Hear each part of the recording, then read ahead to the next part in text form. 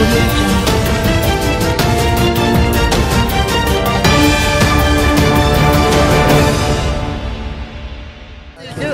الله الرحمن الرحیم د ټول مخکې خو زه ستاسو رون له میډیا حضرات او شکریا ادا کوم چې تاسو رااله او د جلسې له د پروګرام نوم کوریج ورکو بل د ټول غټه خبره ده د تاسو کوم سوال کو کوم کوېسچن کو نو حقیقت دا دی چې په اخیر وخت کې خلکو د پارټۍ نه روان شي ځکه چې د خلکو ډېر اکسپیکټیشن دي تفوضات دي خو نه دا واحد په لومړي ځل باندې ما په خپله لکه پیپل پارټۍ کې مو اختیار کړو دا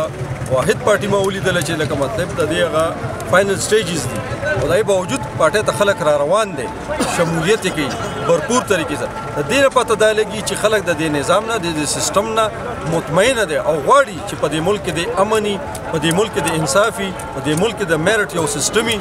بل خبره ده د دې کریډټ ټول چې د ایز ا هول چې زین واغ د عمران خان لیست بل وی څوک نشته چې هغه د قوم له د خلکو له دا پوي ورکړه اویرنس ورکړه یو سوچ ولا ورکړه یو پروګرام ولا ورکړه نن الحمدلله په پاکستان تحریک انصاف کشران او څونه چې زمونږ پاکستان تحریک انصاف رونه دی اغي اغي ته عملی جامه چې کور پکور کوسه پکوسه کلی پکلی باندې دا یو پرچار شروع دی د دې پریچینګ شروع دی چې دا ملک بچکول دی د روان فیوچر سوال دی روان مستقبل سوال دی د دې بچو سوال دی د دې لپاره فایټ کوو